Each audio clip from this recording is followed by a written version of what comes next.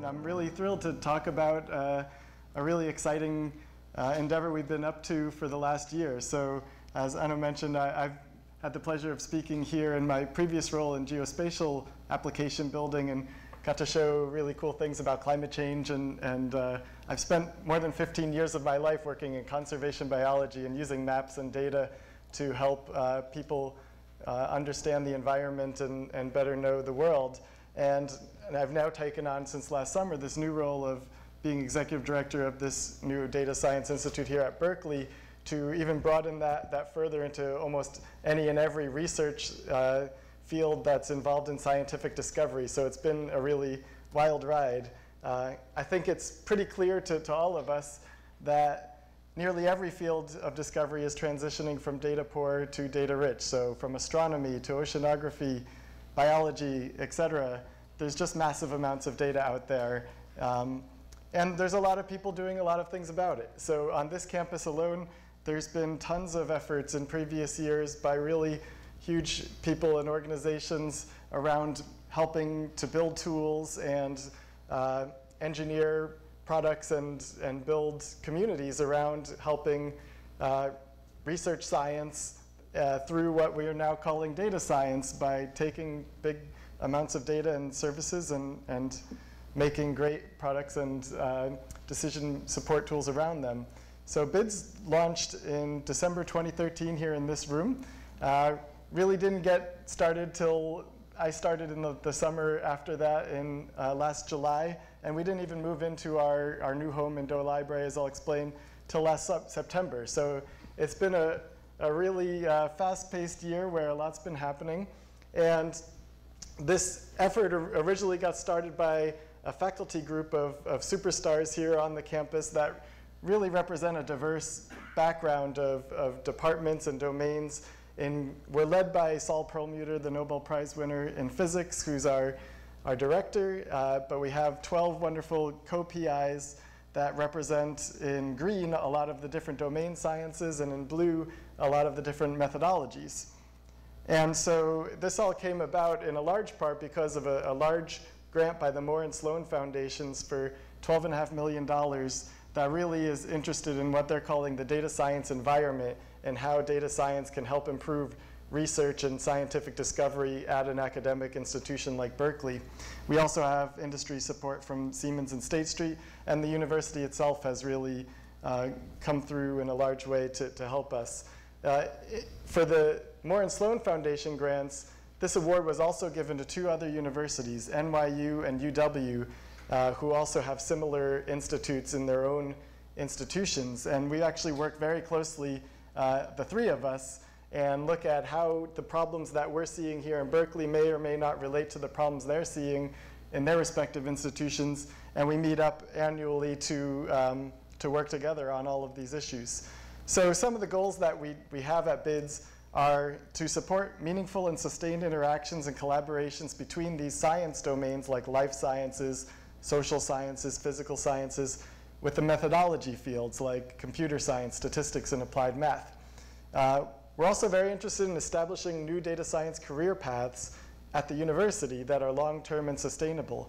So much like you're hearing about all of the uh, hiring issues that they have in, in businesses, there's actually uh, almost opposite problem at the university where we have a lot of very talented data science uh, researchers who don't really have very good options if they want to grow in their field here at the university. And I'll, I'll talk a little bit more about that later.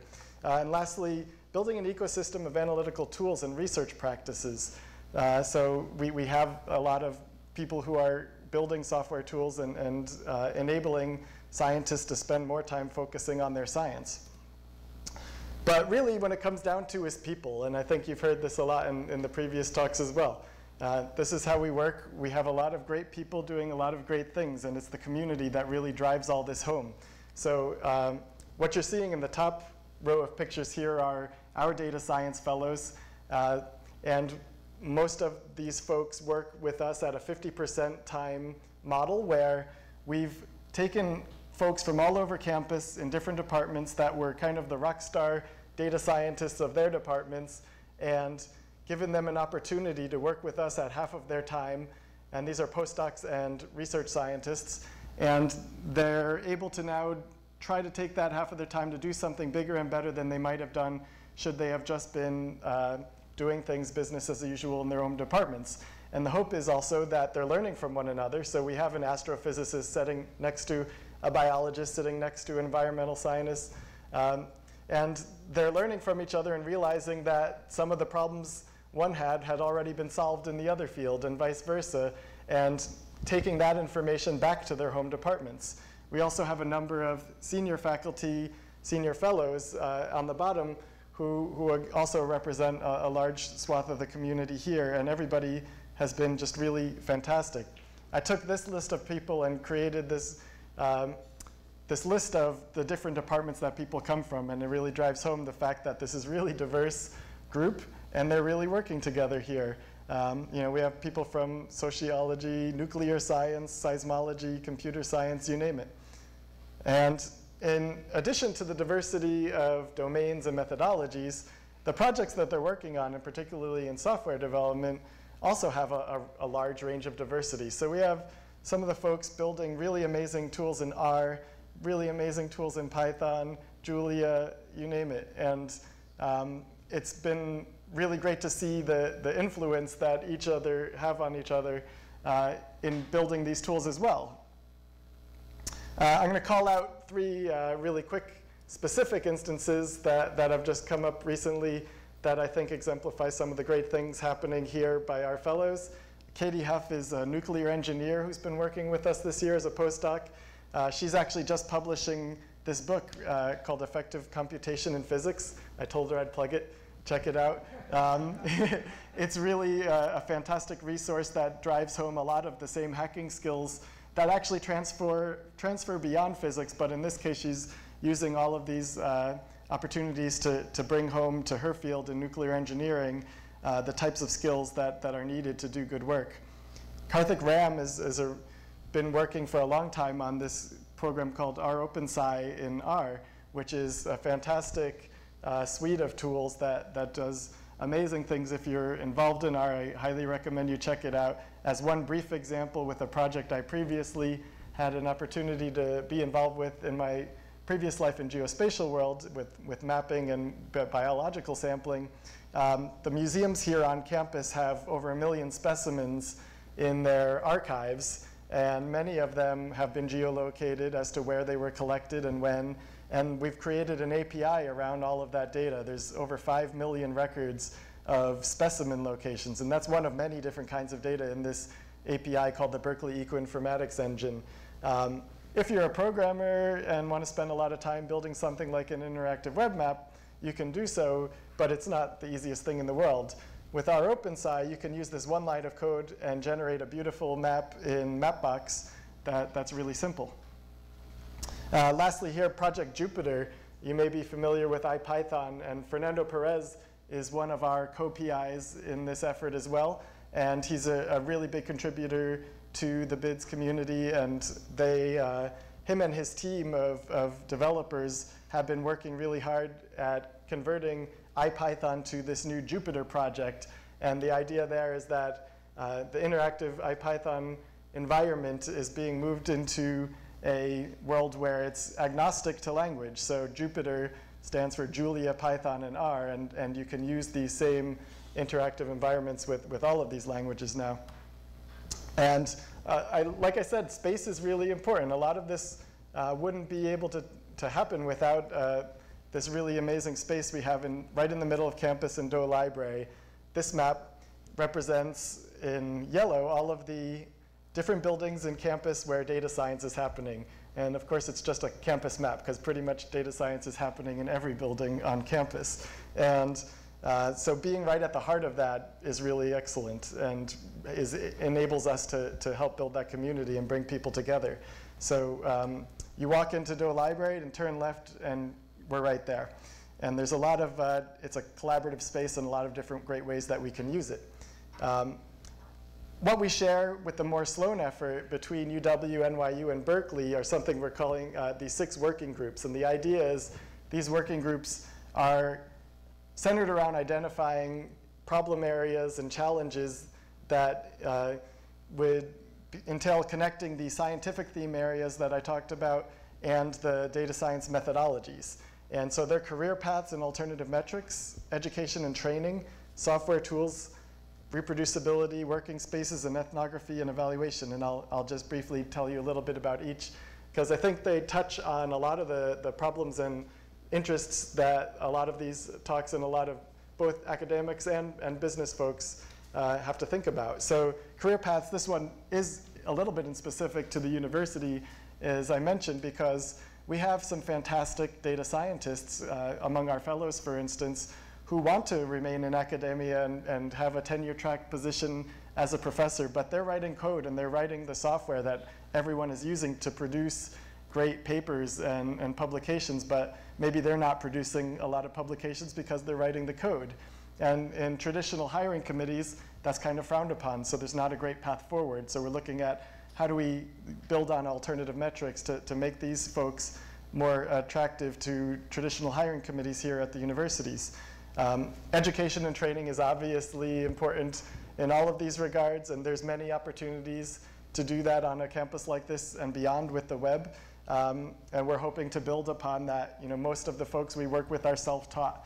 And so how do we get beyond just offering uh, opportunities to, to teach yourself, but uh, having activities like workshops and, and, boot camps and different ways to, to help people learn how to be a good data scientist.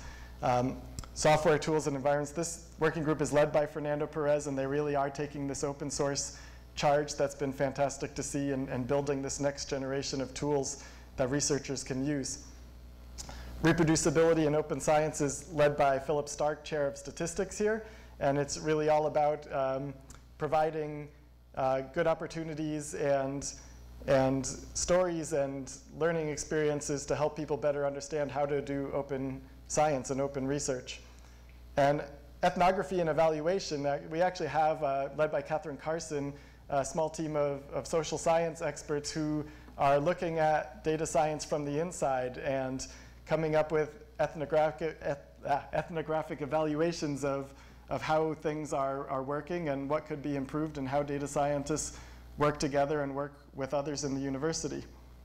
And then lastly, working spaces and culture is about the fact that we are all people and that we have a place that we need to work together and, and how do we uh, come up both with the spaces and the, the um, activities to, to make that happen. One of the things that, that has come to mind with this that's been interesting to hear, especially from people who were coding back in the days where well, you really had to go visit your department's big computer and spend the night there to run your code and get your answers. And we don't really have that anymore. You can do it on your laptop. Uh, but one of the things that was lost in that transformation from having to go to the source to do your work to now being able to do it anywhere is just that one-on-one, -on -one the human-to-human -human interaction of hanging out with the fellow scientists and doing the work together and, and having those ideas, those water cooler moments. And so that's a little bit of what we're hoping uh, we can reproduce here.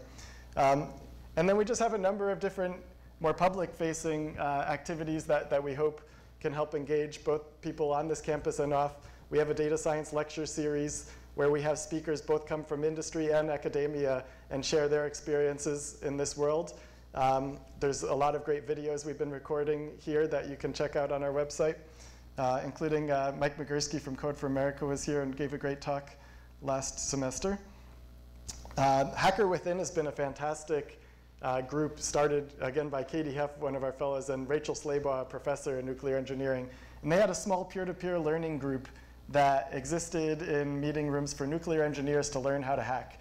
And we asked them to bring it to a, a bigger scale and, and include others outside of their field, and they've done that. Uh, and it's been a really neat way, basically, for people to get together and have a little bit of a lecture, a little bit of a training, and a little bit of a hacking session to, to learn all of these skills. And then uh, actually started by an iSchool uh, master's student, Anthony Suen, is the Data Science Collaborative, where they uh, have been taking undergraduate and graduate students and forming small teams to hack on a project for an entire semester uh, that have been presented by different groups who have projects that they would like help with uh, both all from government, startups, finance, and scientific research. And they just presented their findings uh, this week, and, and, it was really fantastic to see these groups uh, coming up with, with great data science outcomes, but also learning in the process of doing it. Um, and that's all I have today, but check out our website, and I'd be happy to chat with any of you. We